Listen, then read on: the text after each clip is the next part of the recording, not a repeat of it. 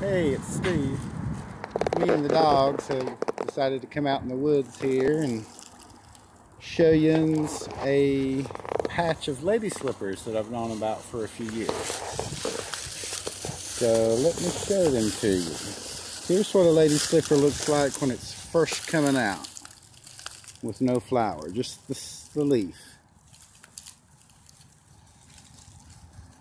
And then this is what it looks like when it's bloomed out.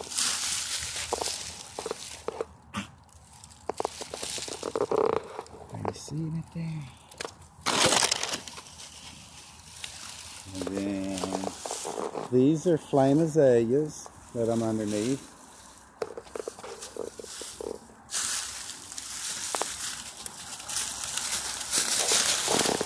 More lady. Another one back to there, just open.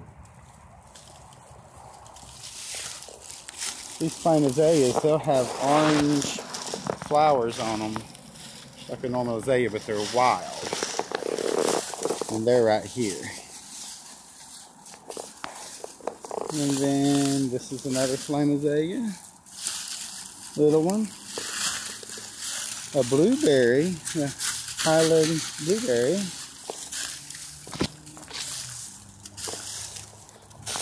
Lady slippers.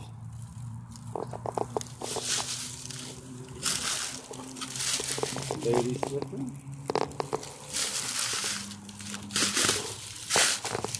Lady slipper. Another one.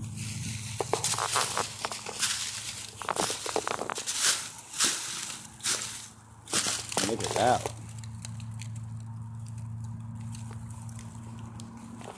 So that's my lady slipper patch. You can hear the the highway not too far from me, so I'm not too far out of civilization. But they can be found if you if you're lucky enough to be out in the woods to find them and then return to them and find them year after year. Thanks a lot. See you guys.